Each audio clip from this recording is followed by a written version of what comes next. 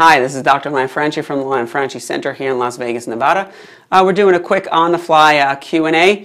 Uh, the question today is, how long will my lower facelift and neck lift last? Uh, great question, uh, very common question. Uh, unfortunately, the answer is it will not last forever. It is not supposed to last forever.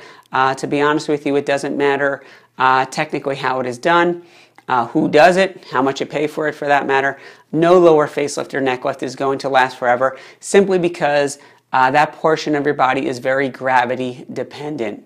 Uh, that being said, the good news is that a technically sound lower facelift and neck lift should give you about a decade worth of rejuvenation. Uh, and the better news is that that decade is yours to keep forever. So if you never have another procedure in your life, your lower face uh, and neck will always be about 10 years younger than the rest of your body.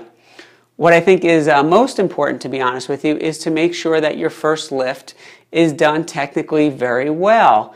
And I say that because in today's day and age, folks are living into their uh, 80s, 90s, uh, and beyond, and most folks are going to have a second and third and perhaps even fourth lift in their life. What that means is that your first lift really should be done well.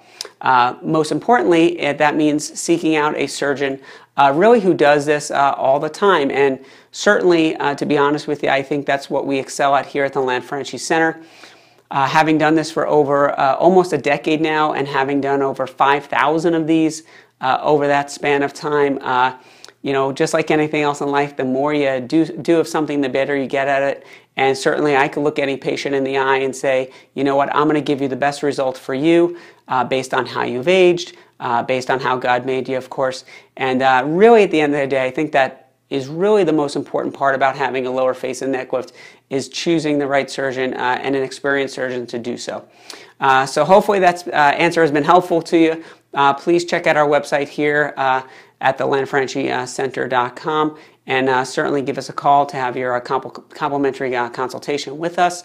Uh, thank you so much for uh, listening, and I'll talk to you soon and look forward to meeting you. Take care. Bye bye.